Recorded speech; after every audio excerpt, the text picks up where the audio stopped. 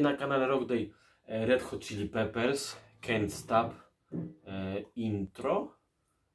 No, to jest jeden z takich utworów, który uwielbiam od początku, kiedy e, go posłuchałem. Znaczy intro właściwie sam, samo intro, intro sam sieńki początek to jest ten motyw.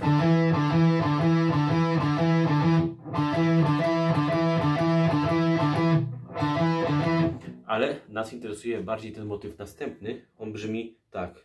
No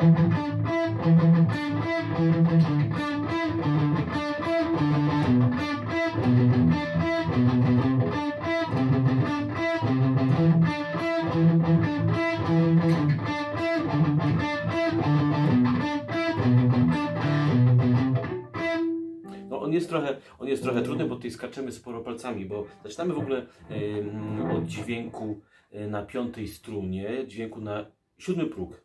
Jest dźwięk E i przeskakujemy, robimy string skipping na strunę trzecią G, e, próg 7-9. To jest, to jest zawsze stała, stały element, 7-9. Zmienia się ten dźwięk główny tutaj.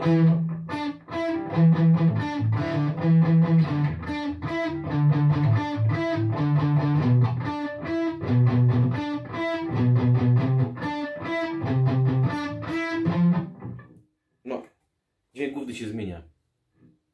Czyli dźwięk główny y, jest struna piąta na siódmym progu.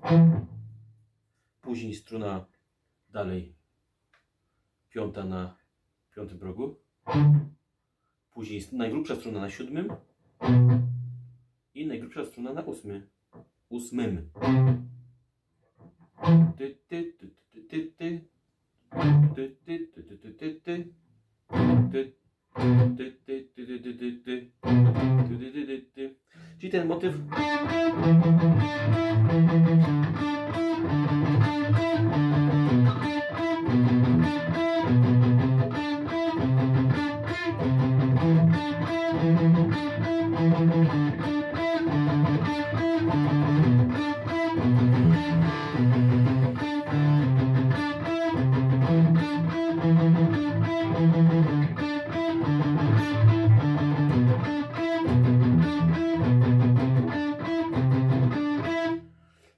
troszeczkę trzeba się nagimnastykować, jednak myślę, że gra jest y, y, warta, warta świeczki.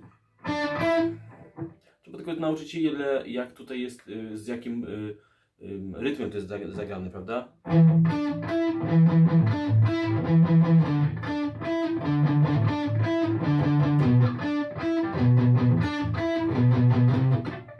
No, teraz nie trafiłem.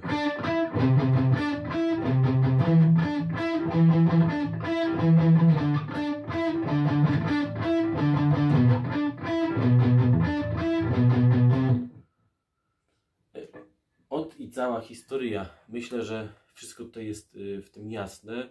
Cofnij sobie najlepiej ten filmik y, z powrotem do początku. Nawet można zwolnić tempo na YouTube, więc byłoby, byłoby spoko. E, Myślę, że dobra, jeżeli coś jest nie tak, pisz w komentarzu. Jeżeli wszystko jest git, wpisz, że git.